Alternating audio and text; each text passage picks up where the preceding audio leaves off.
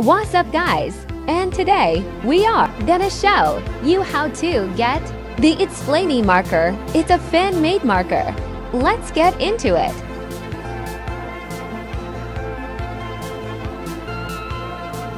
First, we need to get to Mars.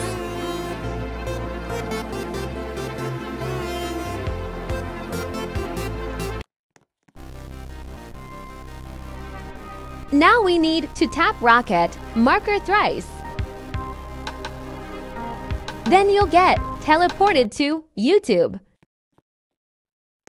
Search ItsFlamey. Subscribe. Then you teleport here. And you've got the marker.